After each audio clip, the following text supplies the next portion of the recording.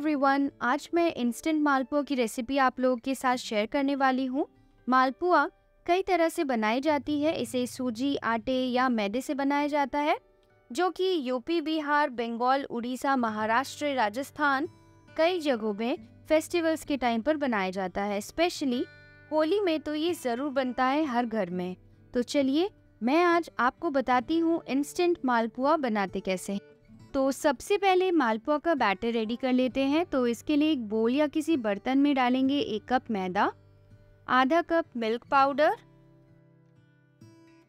दो टेबलस्पून सूजी, आधा टीस्पून सौंफ का पाउडर, आधा टीस्पून हरी इलायची का पाउडर और थोड़े कटे हुए काजू और किशमिश। आप इसमें अपनी पसंद के ड्राई फ्रूट्स भी डाल सकते हैं। इन सबको किसी विस्कर या चम्मच से ही सूखा ही मिला लेंगे पहले। अब इसमें थोड़ा थोड़ा करके डालेंगे एक कप दूध और विस्कर से इसे अच्छे से विस्क कर लेंगे। तो इस तरह से तीन से चार बार मैंने थोड़ा थोड़ा दूध ऐड करके इसका घोल इस तरह से रेडी कर लिया है। ये अभी भी थोड़ी गाढ़ी लग रही है तो इसमें डाल लेते हैं थोड़ा और दूध। इसकी कंसिस्टेंसी ना बहुत गाढ़ी और ना बहुत पतली करनी है हमें तो टोटल मैंने यहाँ पे एक और एक चौथाई कप दूध लिया है बैटर रेडी करने के लिए। मैंने इसमें सूजी भी ऐड किया है जो थोड़ा दूध ज़्यादा सुख करती है फूलने के लिए, इसलिए एक चौथाई कप एक्स्ट्रा दूध मैंने इसमें डाला है। इसे हमें चार से पाँच मिनट के लिए फेंट लेना है अच्छे से। बैटर हमारा रेडी है। अब इसे 20 से 30 मिनट के लिए रेस्ट करने के लिए साइड रख लेते हैं। अब चलिए बना लेते हैं मालपुआ के लिए चाशनी। तो इसके लिए एक बर्तन ले लें। मैंने यहाँ कढ़ाई ली है। अब गैस ऑन कर लेंगे और फ्लेम को लो पर रखेंगे। अब इसमें डालेंगे एक कप चीनी और साथ में डालेंगे आधा कप पानी। चीनी और पानी को मिला लें अच्छे से। इसे लो फ्लेम पर ही पका लेना है हमें करीब छः से सात मिनट के लिए। थोड़े देर में आप देख सकते हैं चीनी पानी के साथ अच्छे से घुल चुकी है। अब इसमें डालेंगे दो हरी इलायची जिसे मैंने बीच से तोड़ लिया है। फिर डालेंगे 10 से 12 केसर के धागे।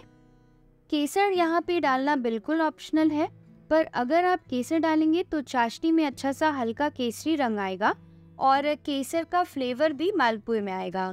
छः से सात मिनट हो गए हैं और चाशनी हमारी रेडी है। इसे ज़्यादा हमें नहीं पकाना है, नहीं तो चाशनी गाढ़ी हो जाएगी। चाशनी की कंसिस्टेंसी हल्की पतली ही चाहिए हमें। चाशनी को ढककर साइड रख ले। इसे ढककर रखिए ताकि चाशनी क्रिस्टलाइज ना हो। अब चलिए मालपुआ फ्राई कर लेते हैं।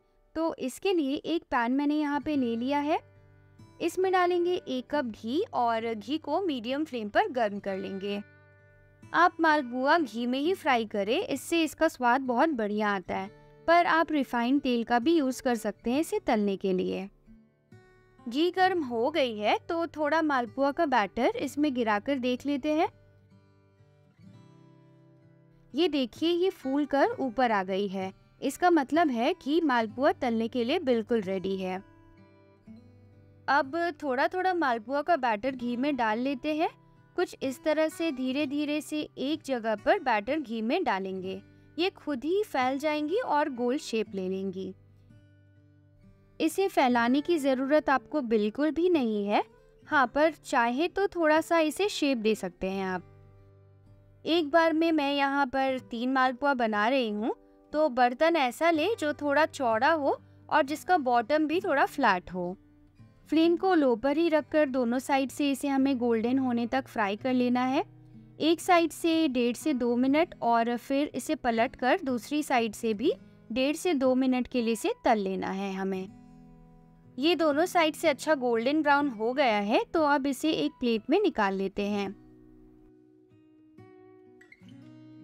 तो इसी तरह से सारे बैटर का मालपुआ हमें बना लेना है।